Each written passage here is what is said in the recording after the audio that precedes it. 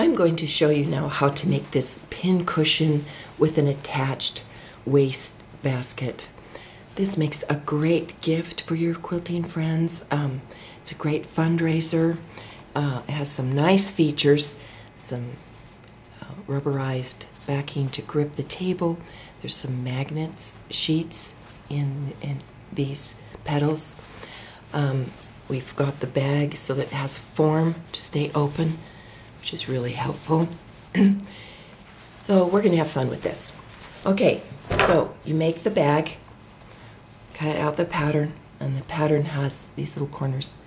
There will be two of these for the lining and two for the outside of the bag. Sew the side, both sides, and across here, the middle, bottom. And then you open up the little corners that are whacked out of it and match the seam to seam and sew across. And that will give you this bag form like that. Then you are going to slide so that they're wrong sides together. Slide the lining down into the uh, the bag, outside of the bag. Now, for the top edge, the dimensions are in the pattern. You're going to uh, sew it together end to end, and we've cut batting that's one inch wider because we want it a little more stuffed. Then um, we're going to roll. You can pin the batting along this upper edge to hold it. That kind of is helpful.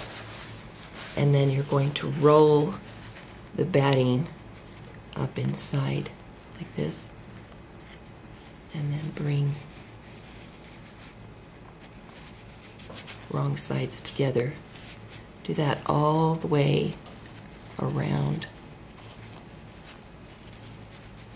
So there's just one layer of batting that should be in the seam, not two. The rest is is rolled up inside and that's what's going to give you this nice form for the outside of the bag. then once you've done that you're going to put the bag I've gathered a little bit here in the front of the bag you're going to put the edges inside so that this will roll up over be tacked down and, and face, it'll be a facing so that this raw edge is covered. Now before I rolled, I made this little bridge, sewed it into the seam so that when this rolls over, tacks on there, that, see, and then the little bridge is attached here under the wing, under the uh, petal. Next we'll show you how to make the different pin cushions that go with this bag. For the different flowers, for the base of the pin cushion, you're going to Xerox your pattern, put it on top of two pieces of fabric right side together, and thin polyester bonded batting. Then you're going to sew on the outside solid line, cut on the outside dash line. Now, if it's a gathered flower, um, like this part, you're going to cut all the way through this uh, dash line. And then turn it, take your paper out, turn it right side out, press it, and then you're going to hand gather pretty wide. Here, now what I've done is I've done a stitch here and a stitch here, and on each petal it's uniform. So when I pull it together, I get a little indentation in the middle of each petal, and I, I like that. But now, if it's not a gathered, then I only cut the um, fabric. And that way, when I put this flower on top, I'm not going to have any raw edges showing here. This will show, but I'll put the rubberized, I'll glue this here, so that won't show. And once I've got it to this point, I will put my magnet, this is just a magnet sheet, and I'll put it inside here. Each petal just go around. And that's just a really fun feature to catch your needles and things. You don't have to do this if you don't want to. Sheets are, uh, sheet will do two of these and it costs maybe 250 or something. So it's not very expensive to put the magnets in. Now you don't want to put the magnets under batting because they're not that strong magnets. In fact, if you can put the magnets so make sure it's right on the fabric like if you've got seam allowance and the magnet gets underneath there it'll hold it up. The fabric won't be as strong. Okay and then this well and the magnets will be on the wrong side won't they? I might need to slit here put the magnets underneath the batting so that when I put this on the bottom the magnets will be on the top. That's what I'll have to do okay so this is our little frog I'm working on so let's show you the frog you begin by making the little eyes, copy your pattern, and I've got white and then the frog fabric and put right sides together and thin polyester bonded batting. Now I want to make an eyelid, so I've got this fabric folded wrong sides together and here's a little design line. I'm going to line that fold right up with that lid line. Then I'm going to sew on that outside solid line and cut on the outside dash line. Take the paper out and when I turn it right side out I've got this really cool eyelid and that eye really fun. Then I will cut um, little felt circles for the iris and the pupil. It gets a little tiny, but you can you can turn them. They're not that hard to turn. Get your finger in there. Turn it. Maybe use a pencil. There we go. Oh, well, trust me. You can do it. Okay, so here's our cute little eyelid. And here's our little felt iris and pupil. I just whip stitch those on with matching. And look how this green isn't exactly matching, but it gives it nice lines. Okay, now let's put his little body together. So pre-make his mouth. Again, I've just put the paper pattern on top of two pieces of fabric right side together. I didn't put batting in this. You could if you want. And it was just sewn across the top and cut on the dash line and turn it like that. And that's his little mouth. Okay, now I've put his mouth, just put it right on top of one of the sections that I've cut out. There are four sections. Now I'm going to lay his eyes right here. Um, so, say this is turned, it's not turned. It'd be all turned. Place one here and one here. And then pin those to secure them. Now I'm going to sew two together like that. Put it along the edge.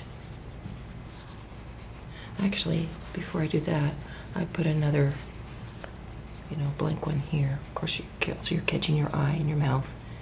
Sew along here, and then I've got two more sewn together like this, and then just put them that so up and around, and that's where you get this little guy.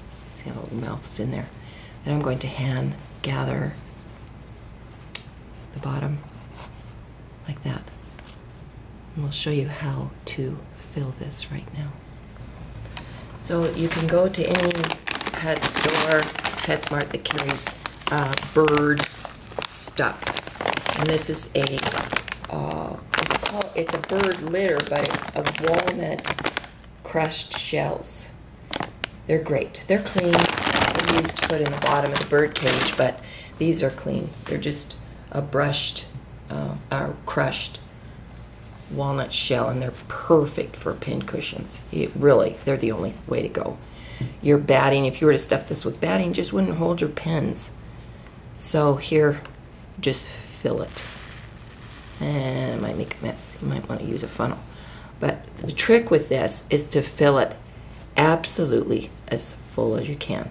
And I'm going to do that and and then I'll come back and show you how to close it. Okay, so here I filled it I've got it hand gathered and I'm going to try to push it into the edges so that he won't be have so many gathers uh, on his little bottom.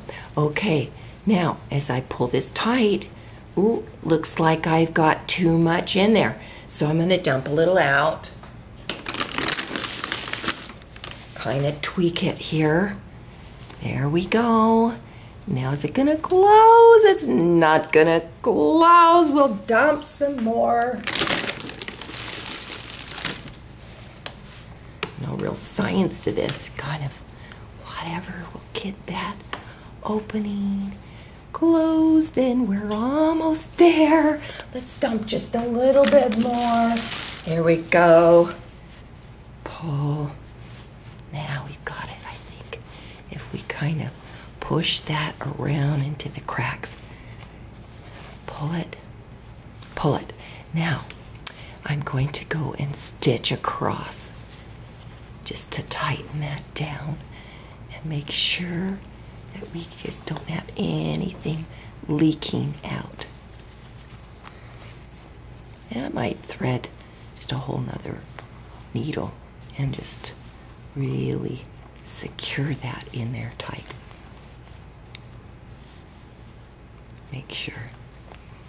Okay, there is our cute little frog. Oh my gosh, he's just so cute. Okay, and I've got this done.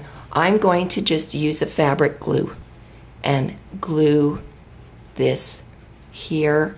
I might work to make sure the little gathers are even. Glue it. Glue the bottom of my frog. Now look, the flower's not showing as much. Okay, so let's widen this hole.